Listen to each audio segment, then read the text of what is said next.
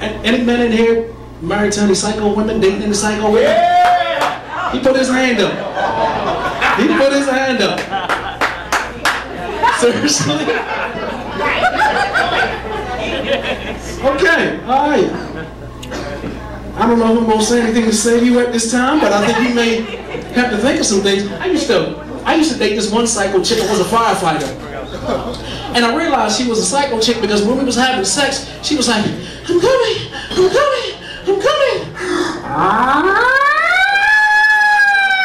was like, this bitch is crazy.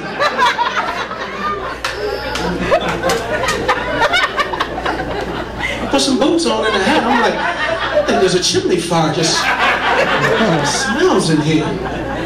So hickory, is that hickory burning? This one chick, this one psycho chick, who was cross-eyed. Yeah, and when she would give me hand, she wanted me to look at her. I'm like, how can I do that? And she'd get mad. Why can't you look at me? Look at me in my eyes. I'll be like, I'm trying to. Just...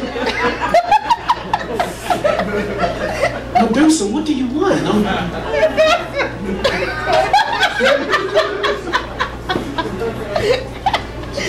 He's crazy as shit.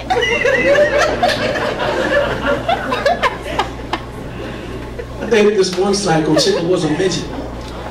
Yeah, she was beautiful. She was beautiful. She liked to play this. She was like a sexual midget. She liked, liked to play this this sexual game called helicopter. You know what I mean? Where I would lay on the bed and she would straddle me and I'd have to take her legs and go.